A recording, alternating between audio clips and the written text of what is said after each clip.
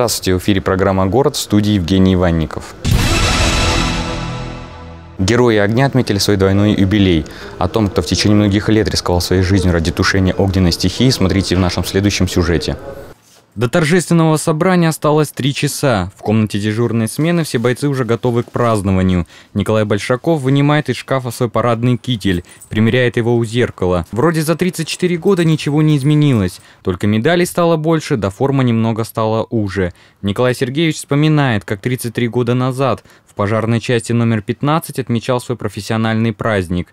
Тогда, правда, праздник отмечали 17 апреля, и название его было несколько иное – День советской пожарной охраны. С тех пор не только волосы посидели, да и звездочек на погонах стало больше. Подполковник Большаков признается, что стал пожарным случайно.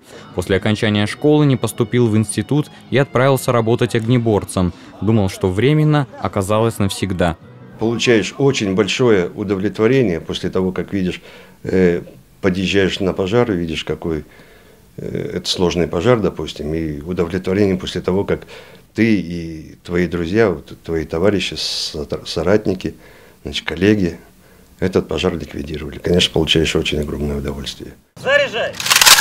Заряжай! Заряжай! Сегодня оружейными выстрелами у пожарной части номер 126 сотрудники МЧС почтили память погибших товарищей. На плацу вспоминали Владимира Кривенко и Шамиля Габитова, погибших 27 лет назад при тушении пожара в подвале одного из домов. И сегодня сын одного из героев, Руслан Габитов, выступил с торжественной речью. Молодой человек рассказал, что ему было два года, когда отец погиб. После этого он даже не думал, что пойдет по стопам своего отца. Однако судьба распределилась иначе.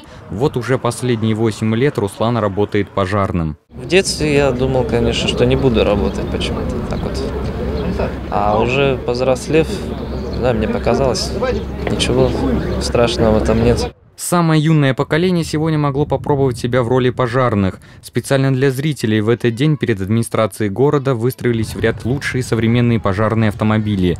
Полазить по большим машинам удалось и Роману Кураеву. Он сюда пришел вместе с мамой и папой. Последний, между прочим, уже много лет служит в пожарной охране, поэтому и сын Роман мечтает также держать в руках рукава и спасать людей.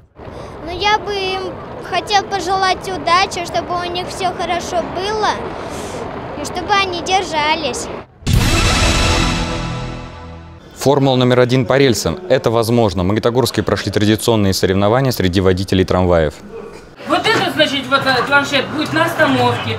Ежегодно за полчаса до начала соревнований на центральном переходе перекрывается движение трамваев, расставляются специальные знаки.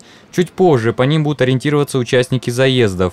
Вот этот плакат означает, что необходимо сделать остановку. Упражнение 10 штрафных. За это второе, вот, 20 штрафных. А за время все равно вот 10 секунд. Финал конкурса профессионального мастерства вышли 15 человек. Все они прошли отборочный тур в родном депо. Сегодня открыть состязание доверили самой юной участнице Юлии Муриной. Ее стаж вождения всего год. Быть может поэтому ей не удалось выполнить все задания на трассе. Перед обнаружением человека на рельсах она не успела вовремя притормозить. Вообще состояние такое вот волнительное. Все-таки конкурс решающий день, третий заканчивающий. Первое место заняла Татьяна Серик, работающая в депо номер два второе – Валентина Родионова и третье – Татьяна Макарова. Обе представляли депо номер три. У нас э, за первое место будет три с половиной тысячи рублей, э, значит, второе место три тысячи рублей и третье две с половиной тысячи рублей. И каждый участник получит 250 рублей, независимо от занятого места. Победитель соревнований будет представлять наш город на всероссийском конкурсе водителей трамвая. Состязания пройдут в сентябре в Липецке.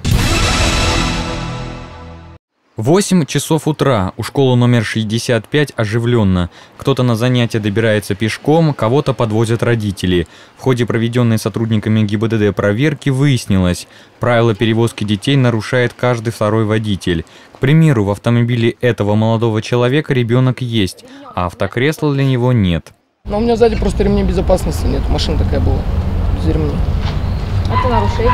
Автокресло нужно, значит, Что за это штраф? Да, штраф. 500 рублей скоро будет.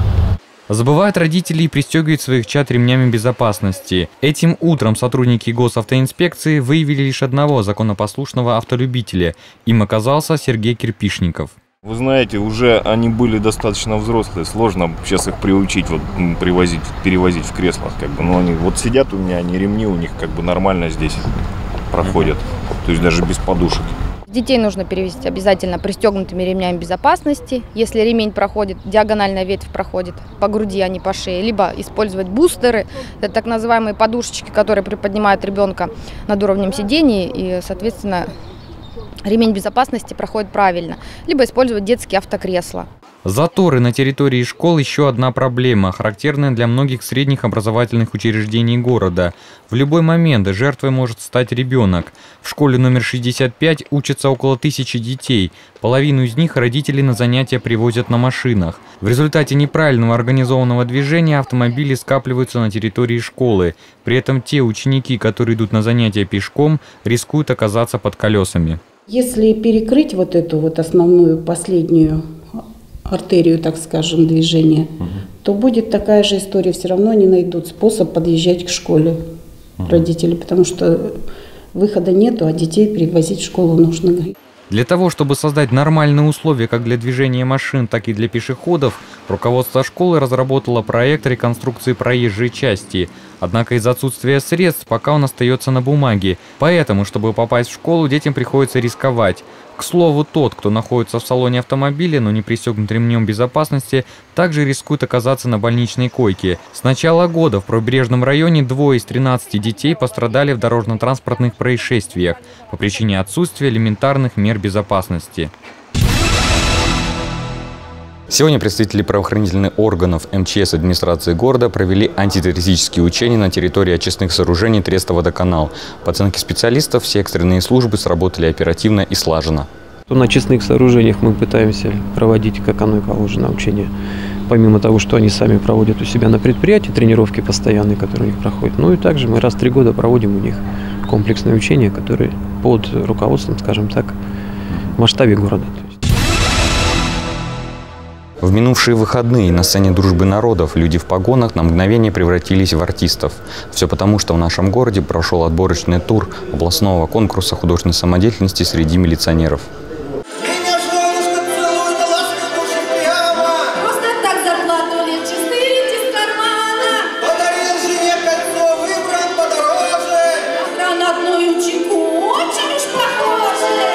Право открыть концерт выпало ансамблю «Лада». В коллективе 10 сотрудников милиции Верхнеуральского ОВД. В репертуаре только русские народные песни.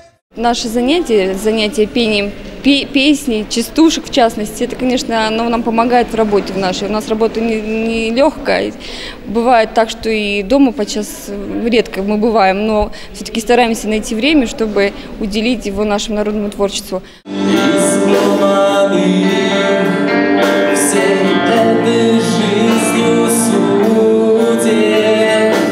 Живым звуком зрителей удивили милиционеры из Карталов. Из родного города они привезли не одну тонну оборудования. К слову, в органах внутренних дел работает лишь один участник этой группы. Остальные решили поддержать товарища. У меня вообще-то папа милиционер на пенсии. Так что... Ну, я не знаю. мешает заниматься музыкой и работать? Ну, у нас прямое общение, можно сказать, ежедневное с коллегой все-таки, в каком-то смысле, с коллегой. Фавориты конкурса – сотрудники правоохранительных органов Пласта и Магнитогорска. Последний на протяжении трех лет в числе лучших самодеятельных коллективов Челябинской области. У нас представлено несколько поколений, то есть поколение сороковых солдаты, а, поколение Афган и поколение Чечня, то есть сегодняшние дни. А, вся тематика у нас именно памяти всех воинов и воин, которые были. В этом году на финальный гала-концерт отправится коллектив Магнитогорского УВД, милиционеры из Пласта и представители Верхнеуральского ОВД. По результатам отборочного тура они заняли первое, второе и третье место соответственно. Финал состоится в Челябинске накануне Дня милиции. А сейчас новости спорта. В Магнитогорске состоялся мемориал имени Владимира Симакина по самбо среди сотрудников правоохранительных органов. О том, кто победил, смотрите далее.